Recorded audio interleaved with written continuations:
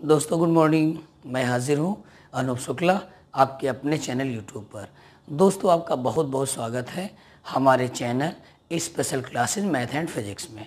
दोस्तों, आज हम क्लास ट्वेल्थ की फिजिक्स और उसका लेसन है वैद्युत चालन इलेक्ट्रिक कंडक्शन इसके बारे में चर्चा करेंगे, इसमें विस्तृत आपको जानकारी देंगे। इसमें जो पॉइंट आज हम चर्चा करने जा रहे हैं, वो दस पॉइंट हैं। उनको पहले हम आपको बता दे रहे हैं कौन कौन से पॉइंट हैं, उसके बाद उनके बारे में हम आपको बताएँगे। पहला पॉइंट है हमारा वैद्युत धारा इलेक्ट्रिक करंट इलेक्ट्रिक करंट क्या होती है? राइट देखिए, अगर कोई हमारे पास कोई चालक है, कोई तार है या कोई परिपथ है तो जब उसमें आवेश जाता है, आवेश फ्लो होता है तो आवेश के फ्लो होने को ही हम करंट कहते हैं। आवेश एक सेकंड में जितना जाता है, उसके उस क्वांटिटी को ही हम करंट कहते हैं। देखिए दोस्तों करंट को हम आई से लिखते हैं। आई बराबर होता है क्यू अपॉन टी राइट अब यहाँ से इसकी हम डेफिनेशन बनाएँगे। करंट क्या है?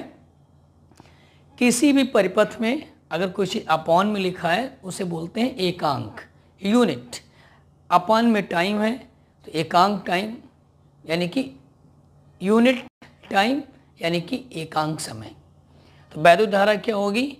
किसी भी परिपथ में एकांक समय में प्रवाहित आवेश को वैद्युत धारा कहते हैं। इसे आई से प्रदर्शित करते हैं। I equal to Q by T इसकी यूनिट, दोस्तों, एक चीज़ हमने आपको पहले भी बताया था। आज फिर हम आपको बता रहे हैं। आप फार्मूले याद करिए। फार्मूला याद रहेगा?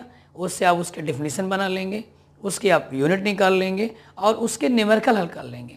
देखिए आई स्कल टू होता है Q upon T Q Q क्या है? चार्ज और चार्ज की यूनिट क्या होती है? कूलाम तो ऊपर आ गया कूलाम और नीचे समय की यूनिट क्या होती है? सेकेंड तो इसकी यूनिट आ गई कूलाम पर सेकेंड या इसी की दूसरी यूनिट होती है, इसको याद कर लीजिए, एम्पियर। ओके दोस्तों तो पहला पॉइंट हमारा था, वैद्युत धारा इलेक्ट्रिक करंट ये आपको समझ में आ गया? ये कैसी क्वांटिटी है? ये अधिस राशि है। अधिस राशि क्या होती है? स्केलर क्वांटिटी जिसमें सिर्फ़ परिमाण होता है मैग्नीट्यूड होता है डायरेक्शन नहीं होता है। अगर करंट में डायरेक्शन होती तो देखिए क्या होता। अब आप जानते हैं कि आपके घर में एक साथ बहुत सारे ऑपरेटर लगे हुए हैं, बहुत सारे बल्ब लगे हुए हैं, पंखे लगे हुए हैं, और सारे इलेक्ट्रिक इंस्ट्रूमेंट लगे हुए हैं। अगर करंट की एक डायरेक्शन होती तो वो एक इंस्ट्रूमेंट में जाती और दूसरे में नहीं जाती राइट मेरी बात समझ रहे हैं? लेकिन ऐसा होता नहीं है, सभी में जाती है। तो इससे हम क्या निष्कर्ष निकालते हैं कि पैदुधारा धारा क्या है? एक अदिश राशि है। जैसे आपको एक हम डायग्राम के माध्यम से बताना चाहेंगे। देखिए करंट आ रही है फाइव एम्पियर की। यहाँ से हमने दो अलग अलग सर्किट जोड़ लिए। तो करंट इधर और इधर दोनों जा रही है। इधर तीन एम्पियर की जा रही है तो इधर दो एम्पियर की जा रही है। राइट यानी कि जितनी करंट आ रही है करंट का जितना परिमाण है मैग्नीट्यूड है वैल्यू वही है, लेकिन इसमें डायरेक्शन कोई नहीं है। राइट तो दोस्तों, पहली बात आपको समझ में आ गई वैद्युत धारा क्या है, उसकी यूनिट क्या है, उसका फार्मूला क्या है, ये राज कैसी है ओके अब हम दूसरे पॉइंट की तरफ़ आते हैं, हमारा दूसरा पॉइंट है धारा घनत्व। धारा घनत्व क्या होता है?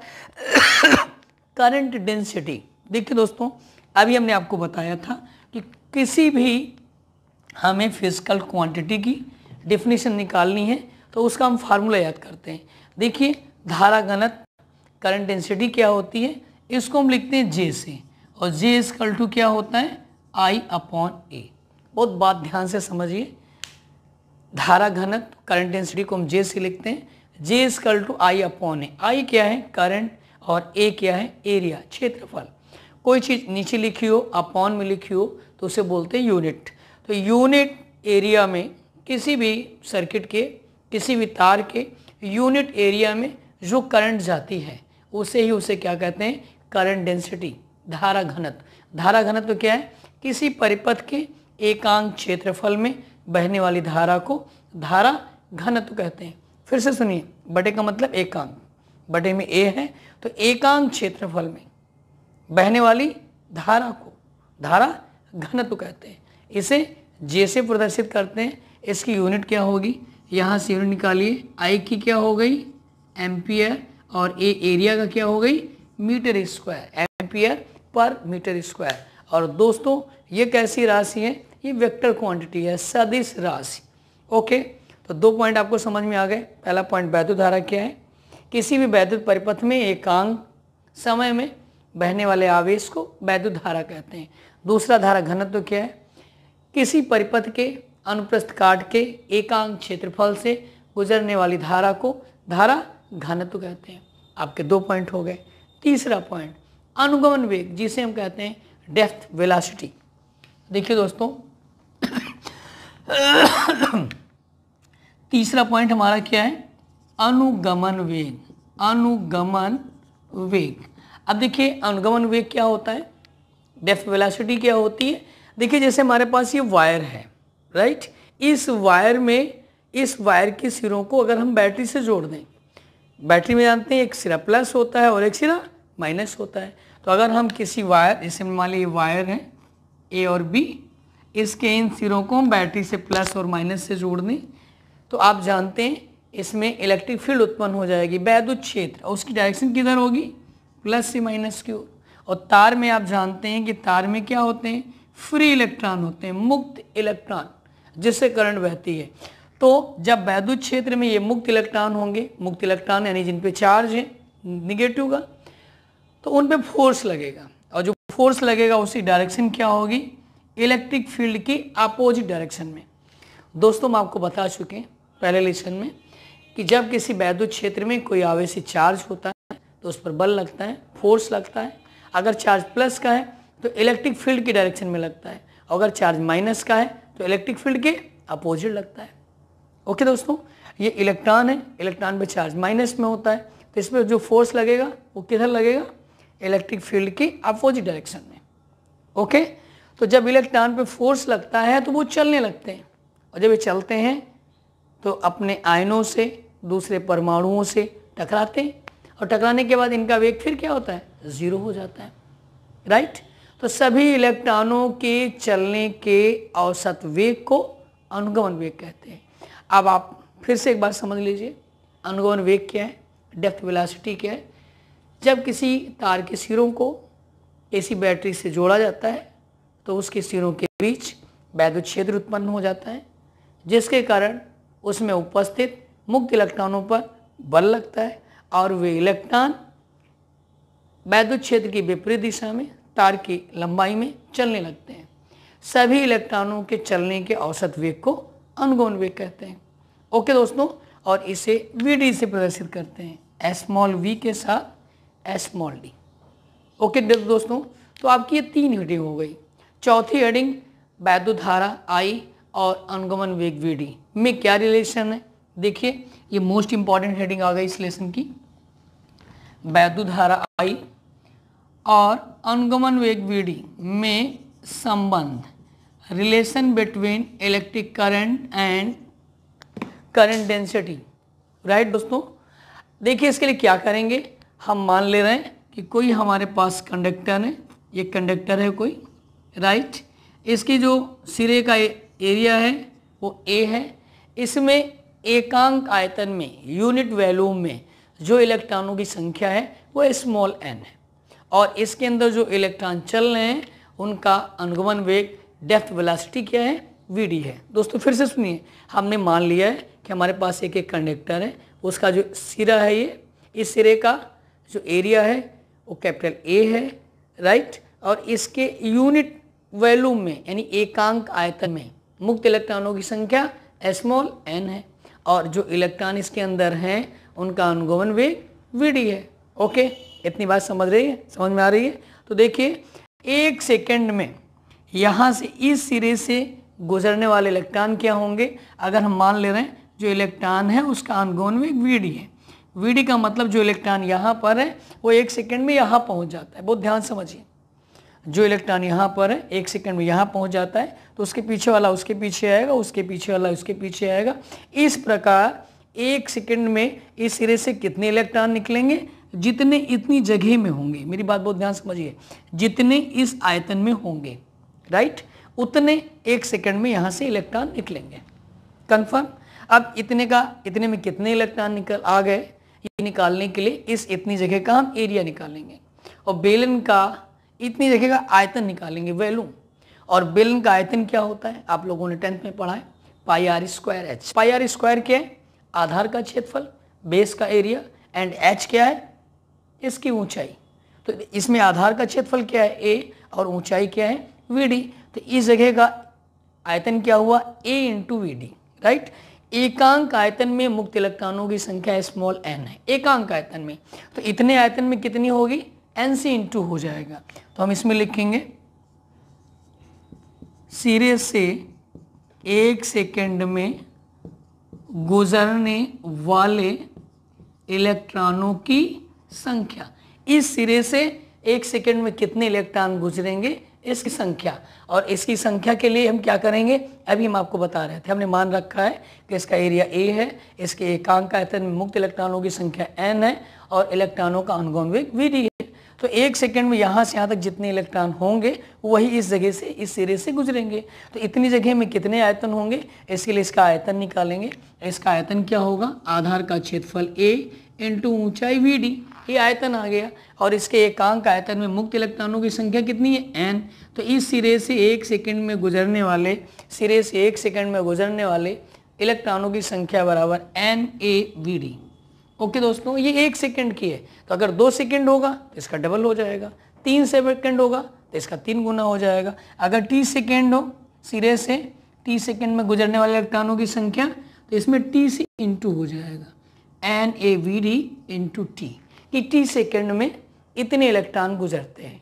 ओके दोस्तों तो इसमें करंट कितनी भाई धारा कितनी भाई उस आई का मान हमें निकालना है। देखिए आई इजकल टू आप फार्मूला जानते हैं आई इजकल टू अभी हमने आपको बताया था क्यू अपॉन टी और क्यू निकालने का फार्मूला क्या होता है? एनी अपॉन टी क्यू निकालने का फार्मूला एनी अपॉन में टी ऐसे आ गया एन क्या है?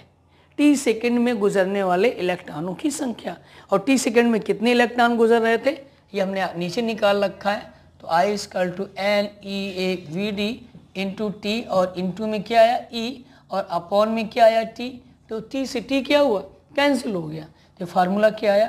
आई बराबर N E A V D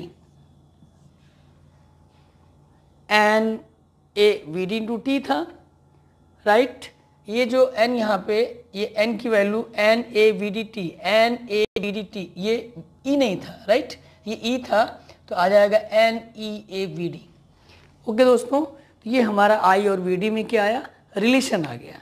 बात समझ में आ रही है? लेसन समझ में आ रहा है? बहुत ही मोस्ट इंपॉर्टेंट लेसन है छोटी छोटी बातें जो आपको ध्यान रखना है इंपॉर्टेंट है बोर्ड के लिए। तो आपकी, अभी तक हमने चार हेडिंग बता दी। पांचवी हेडिंग क्या होती है? वैद्युत प्रतिरोध, जिसे हम इंग्लिश में कहते हैं इलेक्ट्रिक रेजिस्टेंस देखिए, अगला पॉइंट अगला पॉइंट है वैद्युत प्रतिरोध। वैद्युत प्रतिरोध। वैद्युत प्रतिरोध, जिसे इंग्लिश में क्या कहते हैं? इलेक्ट्रिक रेजिस्टेंस अब देखिए, वैद्युत प्रतिरोध क्या होता है? फिर इसके लिए आप फार्मूला याद रखिए।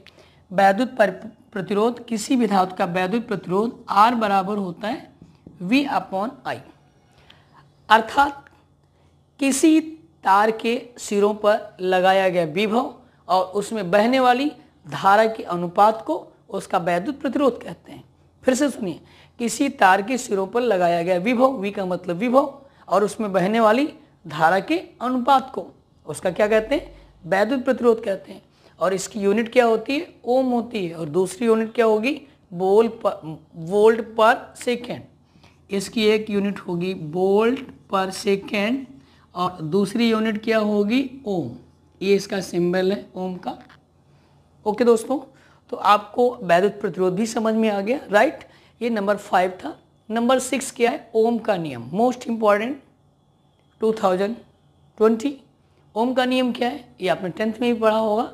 ओम का नियम क्या है कि अगर कोई हमारे पास चालक है, जैसे हमने मान लिया कोई कंडक्टर है, इस कंडक्टर की भौतिक अवस्थाओं में कोई चेंज ना हो। भौतिक अवस्थाएँ क्या है? भौतिक वो होता है जो हमें आँख से दिखता है या स्पर्श करने से पता चलता है। और रासायनिक वो होता है जो दिखता नहीं। तो भौतिक परिवर्तन न हो। भौतिक परिवर्तन क्या है? इसकी लंबाई, इसकी मोटाई और इसका ताप राइट तो यदि किसी चालक की भौतिक अवस्थाओं में कोई परिवर्तन न हो तो इसके सिरों पर लगाया गया विभव, इसमें बहने वाली धारा के अनुक्रमानुपाती होता है। अर्थात, जैसे जैसे विभव का मान बढ़ाएँगे, वैसे वैसे इसकी धारा का मान भी क्या होगा? बढ़ेगा। देखिए, अगला पॉइंट आपका है ओम्स ला ओम का नियम। ओम का नियम। और ओम का नियम क्या याद रखना है? किसी चालक तार की सिरों पर लगाया गया विभव, उसमें बहने वाली धारा के अनुक्रमानुपाती होता है। वी अनुक्रमानुपाती आई फिजिक्स में आप जानते हैं, अनुक्रमानुपाती का निशान हैं, बराबर आता है, नियतांक आता है आर इंटू आई इसी आर को ही क्या कहते हैं? ओम नियतांक कहते हैं राइट इसी आर को ही ओम नियतांक कहते हैं ओके और इसे, इसी धातु का वैद्युत प्रतिरोध भी कहते हैं। अब देखिए, इसके लिए अगर हम ग्राफ खींचें वी और आई के मानों का, देखिए वी के मान हम लेते जाएँ आई का मान जो मिलता जाएगा, दोनों के बीच में ग्राफ खींचें तो एक ही सीधी लाइन आती है। ये इंपॉर्टेंट है। अगर सीधी लाइन नहीं आएगी तो इसका मतलब वो ओम के नियम का पालन नहीं करता है। मेरी बात समझ रहे हैं? तो ये आपका ओम स्ला हो गया। अब इसी में हम अगला आते हैं। हमारा सातवां पॉइंट है, विशिष्ट प्रतिरोध। मोस्ट इंपॉर्टेंट विशिष्ट प्रतिरोध क्या है? देखिए, विशिष्ट प्रतिरोध जिसे कहते हैं स्पेसिफिक रेजिस्टेंस विशिष्ट प्रतिरोध विशिष्ट प्रतिरोध जिसे हम क्या कहते हैं? स्पेसिफिक स्पेसिफिक रेजिस्टेंस देखिए, अब विशिष्ट प्रतिरोध हम कैसे निकालें? इसके लिए अब आपको दो तीन बातें समझनी होंगी। जैसे, जो आपका रेजिस्टेंस होता है आर होता है, ये लंबाई के अनुक्रमानुपाती होता है। कि अगर लंबाई हम बढ़ाते जाएँ तो उसका प्रतिरोध भी क्या होता है? बढ़ता जाता है। दूसरी बात, अगर हम क्षेत्रफल बढ़ाते जाएँ तो प्रतिरोध क्या होता है? घटता है। यानी कि प्रतिरोध क्षेत्रफल के वितक्रमानुपाती होता है। तार जितना पतला करते जाएँगे, उसका प्रतिरोध उतना बढ़ता जाएगा। और तार जितना मोटा करते जाएँगे, इसकी मोटाई बढ़ाते जाएँगे, उसका प्रतिरोध उतना कम होता जाएगा। यानी कि प्रतिरोध एरिया के विद क्रमानुपाती होता है, इन्वर्सली प्रोपोर्शनल होता है। अब देखिए, अगर इन दोनों को मिला दें तो आर अनुक्रमानुपाती एल अपॉन ए। आप फिजिक्स में जानते हैं ये अनुक्रमानुपाती का निशान हटाते हैं, ये अनुक्रमानुपाती का निशान हटाते हैं। तो एक कांस्टेंट आता है और देखिए इसमें कांस्टेंट क्या आता है? रो आता है। तो R equal to rho L upon A okay दोस्तों, अब रो की वैल्यू निकालेंगे। तो देखिए क्या आएगा? Rho equal to rho equal to R A upon L ये हमारा फार्मूला आ गया। ओके अब इससे हम डिफिनीशन निकालेंगे। इसके डिफिनीशन कैसे निकलेगी? बहुत इंपॉर्टेंट है। इसकी यूनिट कैसे निकलेगी? ये अब आप समझिए। देखिए, ये आर है। आर क्या होता है? किसी भी चालक का वैद्युत प्रतिरोध। इसका मतलब ओम। और ये क्या है? क्षेत्रफल। क्षेत्रफल का मात्रक मीटर स्क्वायर एल क्या है? लंबाई। लंबाई का मात्रक मीटर। तो अगर इसका हम मात्रक निकाल लें तो आर का आ गया ओम। क्षेत्रफल का मीटर स्क्वायर अपॉन मीटर एक मीटर क्या होगा? कैंसिल हो जाएगा। तो इसका मात्रक क्या आएगा? इसका मात्रक आएगा ओम मीटर राइट? और इसकी डिफिनीशन क्या होगी? देखिए, डिफिनीशन के लिए हम क्या करेंगे? इसके डिफिनीशन के लिए, अब देखिए, हमारे पास फार्मूला आया है, रो बराबर आर ए अपॉन एल। हम मान लेंगे, पुट कर लेंगे, माना L equal to one metre और A equal to one metre square. अब दोनों दोनों वैल्यूओं को इसमें रखेंगे तो rho equal to R into one upon one equal to R आ जाएगा। राइट? तो इससे इसके डिफिनेशन निकलेगी। डिफिनेशन क्या निकलेगी? किसी धातु का विशिष्ट प्रतिरोध। किसी धातु का विशिष्ट प्रतिरोध स्पेसिफिक रेजिस्टेंस उस धातु के प्रतिरोध, अर्थात रेजिस्टेंस के बराबर होता है। जबकि तार की लंबाई कितनी हो? एक मीटर हो, और उसके सिरे का क्षेत्रफल कितना हो? एक मीटर स्क्वायर हो। ओके दोस्तों तो इसकी डेफिनेशन क्या होगी? किसी धातु का विशिष्ट प्रतिरोध एक मीटर लंबी क्षण के एक मीटर स्क्वायर क्षेत्रफल के प्रतिरोध के बराबर होता है। इसे हम कहते हैं विशिष्ट प्रतिरोध। ओके दोस्तों, अब इसी में अगली हेडिंग हमारी आती है विशिष्ट चालकता स्पेसिफिक कंडेंसेंस विशिष्ट चालकता क्या है? विशिष्ट प्रतिरोध के व्युत्क्रम को विशिष्ट चालकता कहते हैं। देखिए विशिष्ट चालकता को हम किससे लिखते हैं? विशिष्ट चालकता होती है सिग्मा। विशिष्ट विशिष्ट चालकता। विशिष्ट चालकता मतलब स्पेसिफिक कंटेंटेंस इसे हम लिखते हैं सिग्मा से। और सिग्मा इज़ कल टू होता है वन अपॉन रो इससे इसकी डेफिनेशन निकालिए। किसी धातु की विशिष्ट चालकता उस धातु के विशिष्ट प्रतिरोध के व्युतक्रम के बराबर होती है। और इसकी यूनिट क्या होगी? जो उसकी यूनिट थी, वो नीचे आएगी ओम मीटर। तो इसकी यूनिट क्या आएगी? ओम की पावर माइनस वन और मीटर की पावर माइनस वन। ओके दोस्तों तो आपको ये विशिष्ट चालकता भी समझ में आ गई होगी। अगली हेडिंग है अनओमी परिपथ। अनओमी परिपथ क्या है? जैसा इसका नाम है, जो परिपथ ओम के नियम को पालन नहीं करते। अन ओमी परिपथ। अनओमी परिपथ।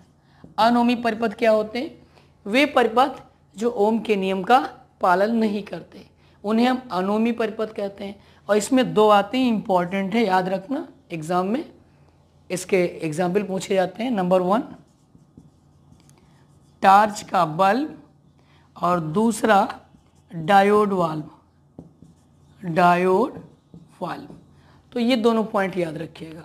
तो दोस्तों, आज हमने इस लेसन का आपको 70 परसेंट आज समझा दिया। अब आप इसको समझिएगा, अच्छे से तैयार करिएगा। अगर इसमें कोई कन्फ्यूज़न है तो आप मुझे कमेंट करिएगा, मैं आपको दोबारा बताऊँगा। इसमें 30 परसेंट और बचा है तो हम कोशिश करेंगे कि आज ही चार छः घंटे में आपको वो भी मिल जाएगा। तो पूरा लेसन आपका कंप्लीट हो जाएगा, फिर इसके आपको न्यूमेरिकल बताएँगे। दोस्तों लास्ट में सिर्फ़ हम आपसे इतना कहना चाहेंगे कि अगर हमारा समझाया हुआ आपको समझ में आ रहा है, आपको फिजिक्स आने लगी है तो आप हमारे चैनल को सब्सक्राइब करिए, अपने दोस्तों को शेयर करिए, हमारे वीडियो को लाइक करिए और अधिक से अधिक अपने दोस्तों को हमारे चैनल से जोड़िए। तो ओके दोस्तों आज के लिए सिर्फ़ इतना। ओके थैंक्स नमस्कार।